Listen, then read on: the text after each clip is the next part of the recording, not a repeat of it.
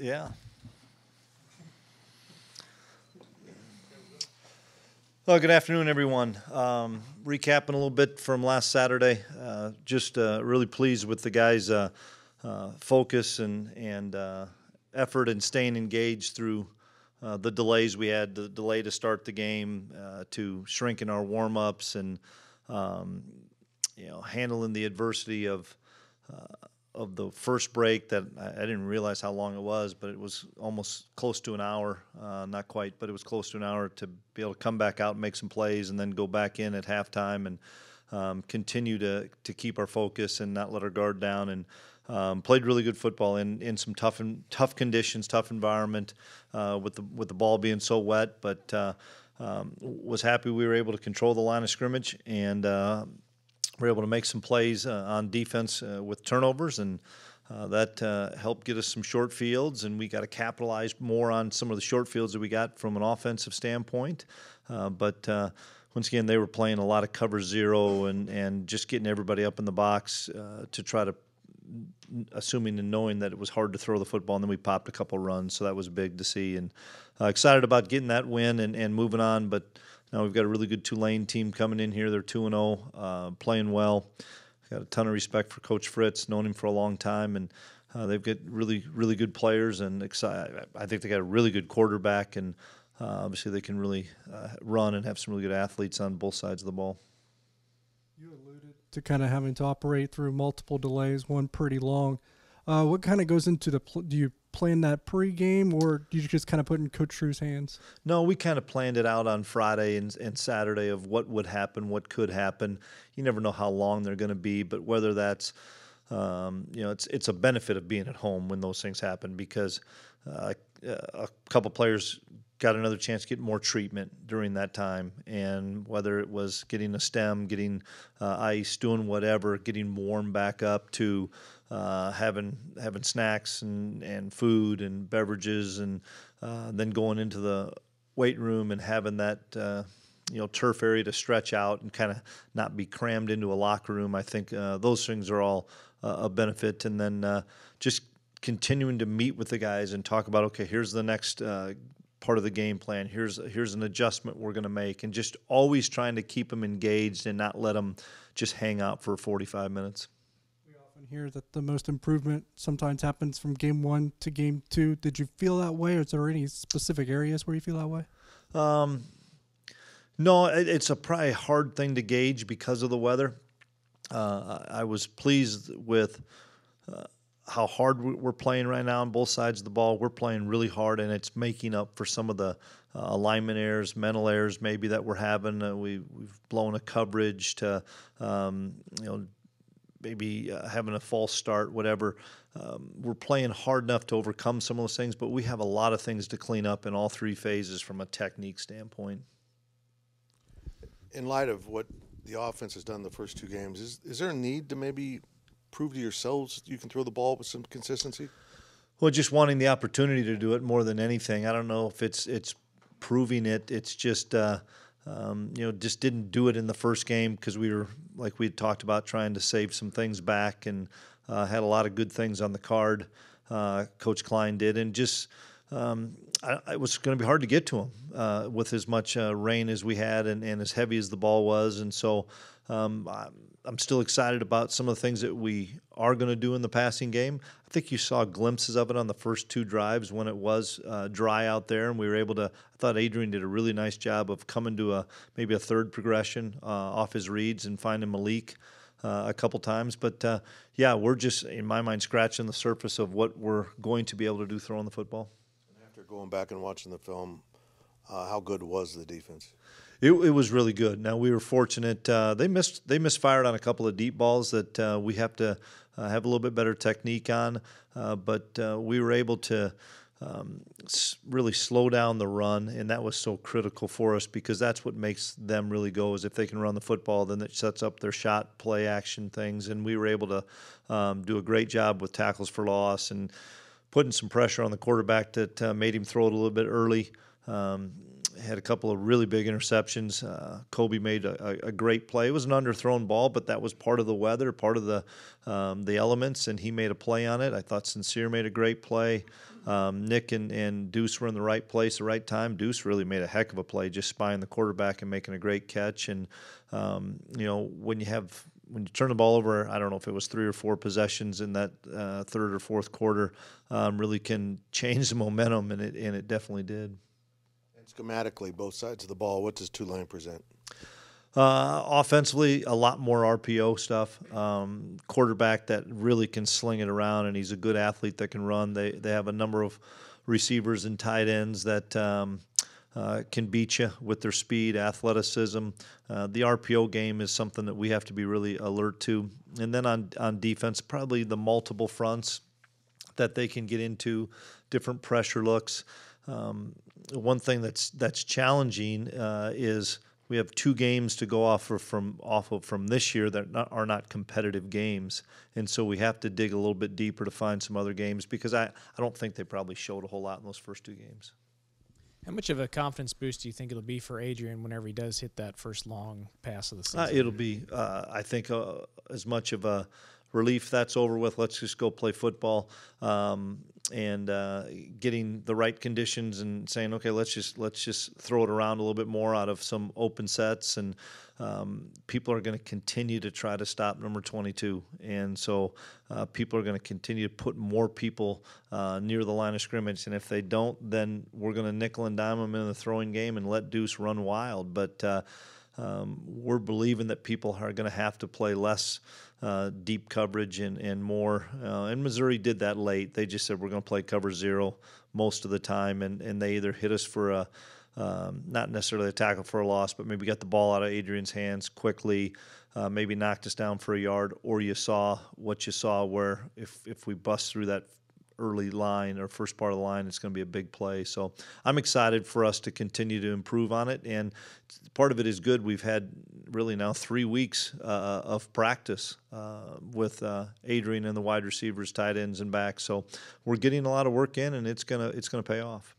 Remember the first time uh, seeing Kobe Savage on on tape or live when you realized he was going to be an impact guy? Loved his his uh, junior college tape and uh, got a chance to visit with him pretty quickly uh, after watching the tape and, and offered him when he was on a bus trip uh, uh, at Tyler and just loved his personality and his demeanor. And then when he came up on his visit, I just knew he was the right kind of guy. Uh, the right fit, the right maturity. Uh, he loves ball. He's an absolute football junkie. He just hangs out in the offices and um, is a sponge to learn more and more. And uh, kid plays reckless and he has fun. You know Willie Fritz at all? And, Yeah, I uh, know Willie. Well, okay. Can you tell us about that, and what do you think about him? Well, um, Willie was at Sam Houston State when I was at North Dakota State, so um, I was uh, the defensive coordinator at the time, but uh, had really good battles with him. Uh, so much respect for Willie, what he did at uh, Central Missouri for, for so long, and then going down to Sam Houston and, and turning that program into a uh, a perennial power in FCS. He went to Georgia Southern and did some really good things, and had an opportunity to go to Tulane. The athletic director at Tulane's a really good friend of mine, Troy Dannen. Um, Troy made a great hire in Willie, and uh, so much respect for Coach Fritz. I see him at different conventions and things, and and uh, um, he's doing a, a terrific job down there, and he's a winner.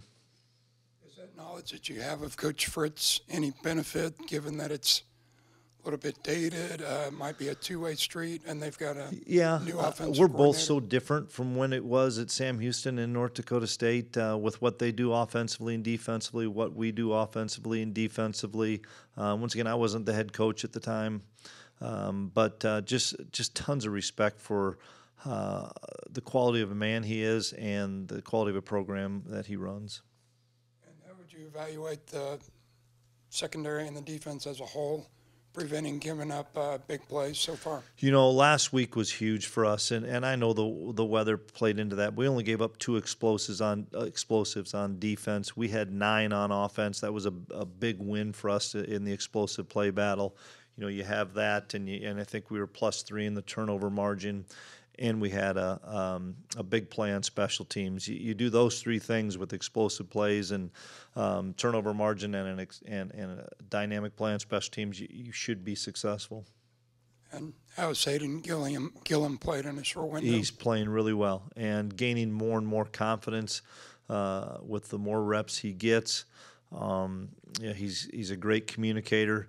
Uh, another guy that uh, just has a blast, whether it's at practice, whether it's in a meeting. Uh, I can just see him sitting over there in the corner uh, during a punt meeting, or he just has fun. He loves football and he loves this uh, the, loves this team, and he's playing at a high level. You mentioned earlier, Coach, that uh, to get more information on Tulane, might have to look at some games maybe from last year. But those games, looking at last year, is it taken into consideration that Tulane all of last year was affected by Hurricane Ida? Yeah, Uh, yeah, absolutely. But but sometimes the schemes aren't. You know, um, you know uh, whether or not. Uh, um, you know, you don't look and, and say what was their record or anything like that. You look and see what was the scheme, what was where were they having success. Uh, the guys that are returning, what positions were they playing that they had comfort in, um, both sides of the ball. Um, you know, I know they have a new offensive coordinator. Um, so we watched some of his stuff from from his previous uh, job as well. I mean, it's just trying to um, come up with a plan A and a plan B, and making sure that um, uh, we can um, play fast and play physical. Two guys we haven't seen yet are Sean Robinson and Will Honas. I was just wondering if you had an update on those guys. Yeah, we're getting closer probably on both of them. Uh, I don't have a definitive timetable on either one of them, um, but um, uh, we're hopefully getting closer. Now that you've seen Khalid Duke back from his injury two games in, how would you kind of assess his health and his play? Well, he's healthy, uh, which is, is fun to see and fun for him to be healthy. He just needs to continue to get reps at the linebacker spot compared to where he's played here in the past at defensive end. I, I saw uh, a guy from game one to game two uh, gain a lot of confidence in uh, his alignments and his uh, disguises and his ability to see the plays happen faster. Uh, it's going to just continue to click for him at the outside linebacker spot. He's a dynamic player, guys, and he he wreaks wrecks shop in there when he comes and, and fills on a hole or blitzes. I mean, it, it's a it's a grown man coming in there, and uh, I, am excited because Khalid's best football is still coming uh, as he gets more comfortable. Last thing for me, um, offense last game felt like start er, early in the first half. Deuce really didn't get to break through, but then in the second half, you started to wear him down. Is that something that you've kind of going to hang your hat on with this offense here? Um, no, it was the conditions. I mean, we were gonna, um, I think, be a lot more open and, and pitch it around a lot more until uh, until the rain came, and Deuce would have been a part of that as well. And then, you know, we got up twenty to six, and it was soaking wet and a downpour, and then it's all right. Let's uh, let's not turn the football over. Um, let's uh, give it to Deuce. Plus, with the amount of pressure we were seeing, we did not want to take sacks. We didn't want to take a bunch of negative plays. And um, another guy that was really, really good on Saturday was Ty Zentner. And, uh, um, you know, a few of his punts were, were really good. They didn't have any return yardage. He, pinned a couple of them inside the five, and, and that those were big. Ty's, Ty's kicking the ball really well. To follow up on the run game a little bit there, um, DJ Giddens, I think, only had one or two carries on Saturday. Are you confident in what you guys have behind Deuce in your rushing attack at this point? Yeah, um, we are. And uh, um, DJ is going to be a big factor. It's just, I'll, I'll keep going to it. Um, you know, when a guy's warm and playing all the time and not sitting on the sidelines soaking wet, um, you're going to give it to the guy that's your guy for starters, as well as you know, it's it's hard. You know, I, feel bad for Anthony. You know, he sat cold all game long and got wet, and, and he and he didn't hang on to the football. That's not Anthony Frias. Anthony's going to be fine. Uh, he's beating himself up too much. We we've got a lot of belief in Anthony, and I just didn't want to do the same thing to to DJ. Um, Deuce is fresh. He's warm. He's he's carrying the the load. He's a pretty good football player, and um, you know, DJ was an impact. Had an impact though. Had a big run for us. Obviously, you are confident in Deuce, right, for obvious mm-hmm. reasons. But behind that, is it important to develop a significant amount of depth at running back just in case something yeah, Absolutely. And DJ Giddens is the clear number two for us. Did you notice any any major difference with, with, with Josh Hayes being back there in the secondary? Huge difference. You know, and that's just that's not a an indictment on any of our other players. It's just a guy that's a, a, a six year guy um, that has seen – 40 plus games of football as opposed to younger players that have not seen a whole lot of football. And so to get Josh back there from a leadership standpoint, from uh, ability to play man coverage, and, and then I think everybody saw his ability to to you know fill the alley and run and and hit.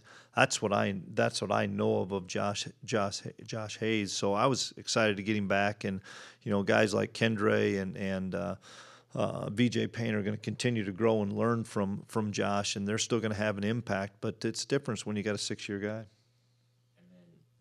It's been kind of a quiet first couple games for for Ekow. Is that is that more of a, a function of teams not throwing in, in, in his part of the field, or You know, I think it's going to get really busy um, over the landscape of the Big 12 season, and um, uh, and probably this week because these guys are going to throw it around with a really good quarterback. So I think he and Julius will will really be challenged. I, I know they're both um, excited to be challenged in the in the um, coming part of the season, but. Uh, Maybe right now it's just uh, they've been doing a really good job of, of keeping their depth on things and not a lot of time to throw the football, and people are throwing underneath. But uh, those guys know it's coming. Your, your defense players obviously are having fun. They're, they're throwing up the mob sign. How have you seen this team, this defense, maybe demonstrate that mob mentality that you talk about? Just you know, for us, that's mind on the ball, mind on ball, and those guys are are flying to the football, and that's that's the kind of tenacity and, and physicality and and uh, excitement and energy we want to have, and I think that's so critical to uh, to our success. Is you know they get they they run if there's loafs on the field and and they don't and they get passed up by a teammate and stuff. I mean we chart all that stuff and and those guys uh, are excited for each other when they make a play and so. Um, we got to continue to to build depth on the defensive side, and we have to continue to, tr- to try to eliminate some of the technique errors we have. Um, but once again, the the tenacity and speed and physicality that those guys are playing with makes up for a lot of it.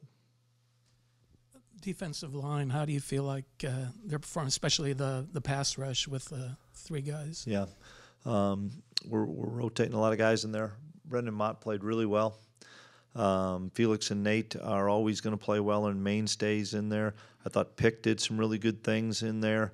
Um, one of the guys that um, uh, you know he backs up Eli, but I thought D Hintz played really well and was very very disruptive, and it helped us to get Eli out of there some.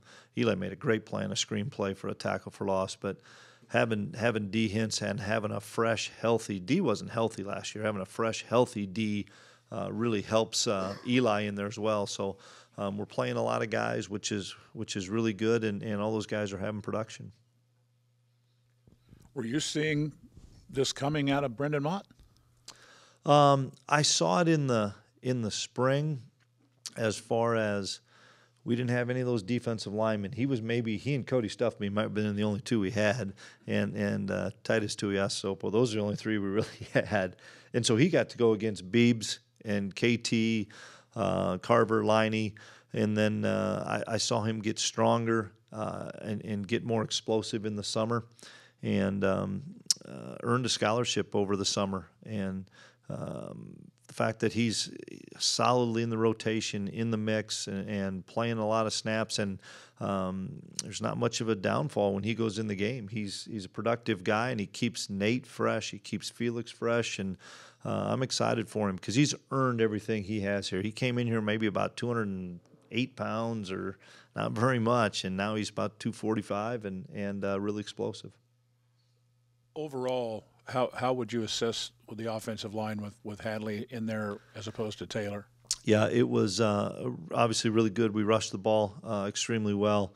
Um, we we have to find more snaps for uh, line gang, probably for Carver, uh, and then uh, either Dawson or Sam Hecht uh, have to continue to to provide a little bit more depth for us. We didn't rotate probably as as much as we should have on the offensive line. Part of that is same thing we keep talking about the elements and getting the guys that have been playing in the, those elements out there to keep them there. But uh, we have to do a, uh, continue to emphasize uh, playing more guys there. I guess I'll ask finally about Uso. Uh, it just seems like he's getting a little bit better yeah. each week. He is. He's learning how to play. Uh, in our system and in, in our front, once again, learning from Eli has been huge for him. He he does not stay blocked in there. He plays really hard. uh, his best football is in front of him this year. He's going to be a factor. Back to what Fritz asked about a moment ago, Coach. What your personality is through two games. How do you want that to, I guess, grow through the regular season? What What is it you're still trying to pull out of this defense? Um, you guys need to figure that out probably, and we need to see if anybody else can figure that out, um, because we are doing some different things that maybe somebody that doesn't see us all the time thinks it's a lot of the same as what we did last year.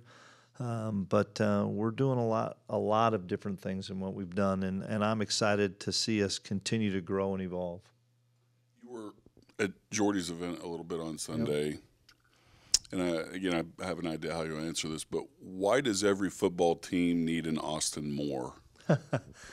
uh, I wish we had 15 Austin Moores, and we're getting closer to having 15 Austin Moores. Guys that come in and just keep quiet, walk on kid, work his tail off. Um, was on the scout team the entire freshman year. A lot of freshmen hate the scout team, uh, which I don't blame them. I mean, it's hard work. You get beat up down there, uh, but it's it's you know how do you handle your circumstance? And that was a circumstance that Austin had. And when we'd come in here on Sunday morning, I'd say who'd be the scout team defensive player of the week, and every week Connor Riley could have said Austin Moore, and we spread it around with a lot of guys that year.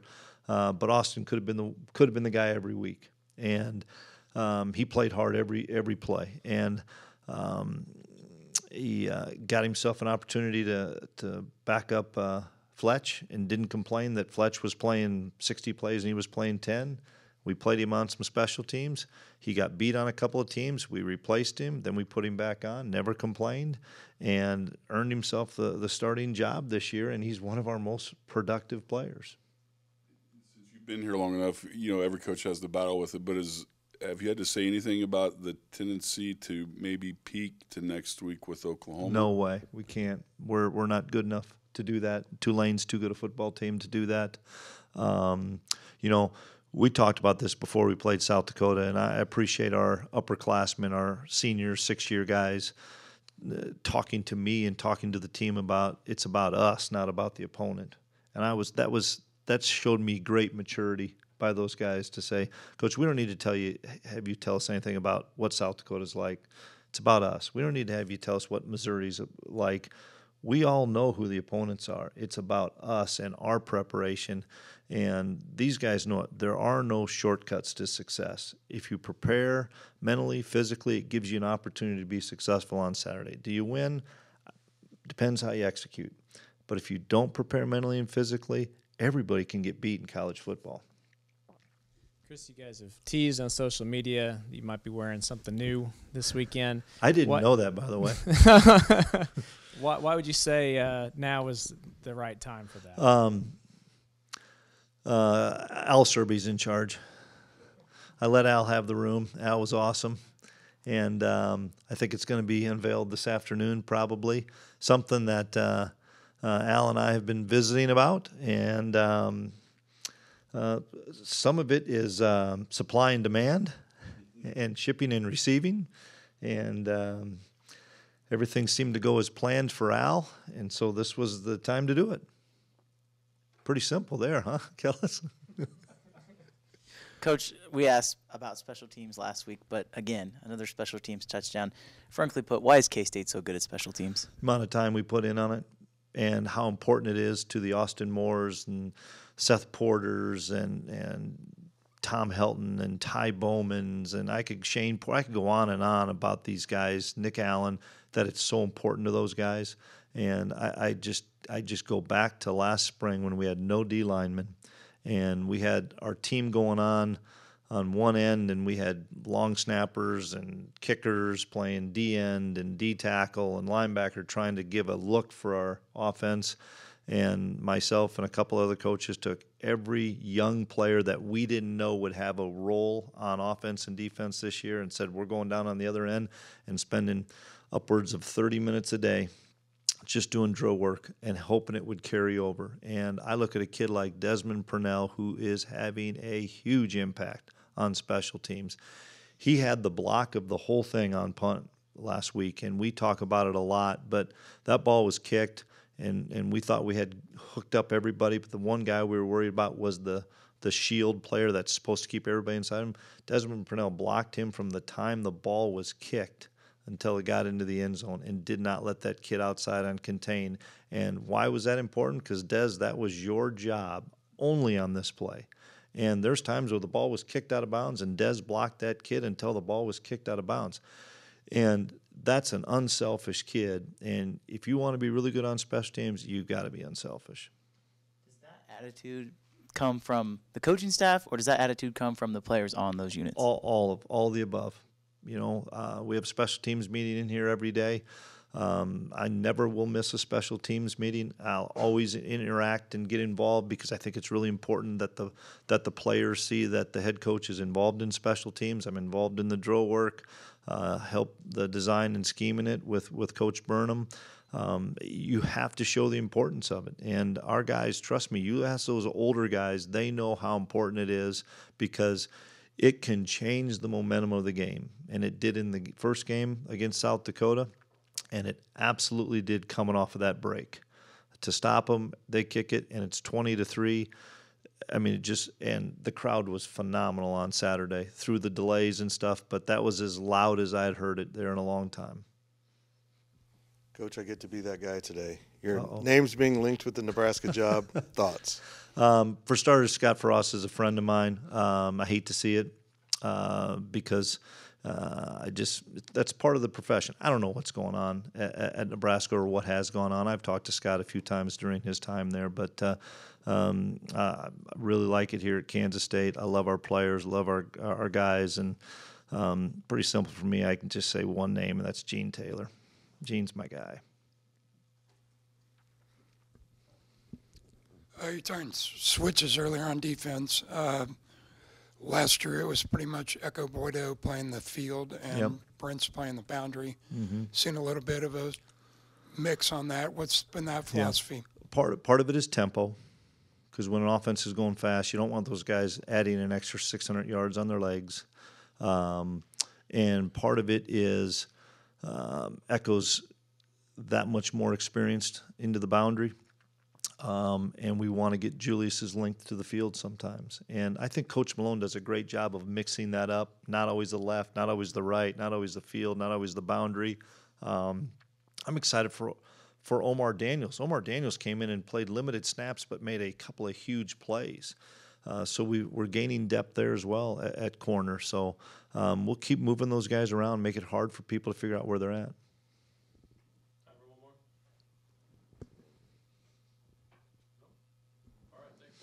Thanks, everyone.